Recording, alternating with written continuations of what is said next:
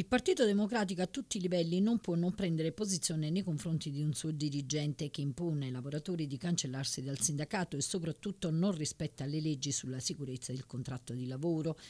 Il PD, partito che esprime il ministro del lavoro, non può tacere rispetto alle discriminazioni perpetrate da un suo dirigente di Sant'Andrea di Conza nei confronti dei lavoratori della SCAF. Comincia così la dura nota stampa a firma del segretario generale della FIOM CGL Giuseppe Morsa. Nello specifico, continua il segretario, il dirigente del PD nonché componente del collegio dei revisori dei conti dell'alto calore, in barba alla libertà di adesione al sindacato, ha provveduto a sospendere i lavoratori lavoratori che non ha ubbidito alle sue richieste di dimettersi dal sindacato.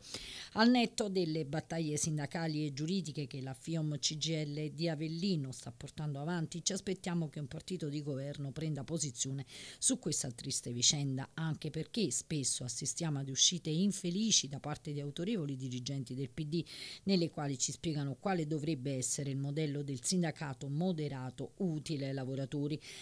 a questo punto, conclude Mossa, ci viene da chiedersi se la modernità che immagina il PD è quella praticata alla SCAF. E intanto questa mattina il sindacato ha manifestato davanti ai cancelli dell'azienda.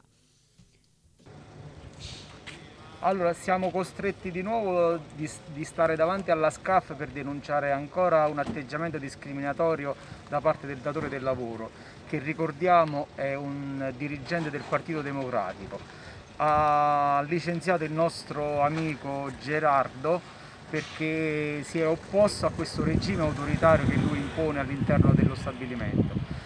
L'opinione pubblica, la politica e lo stesso padrone deve sapere che non ci fermiamo fin quando non sarà ristabilita la democrazia e il diritto di dissentire rispetto a questo atteggiamento padronale.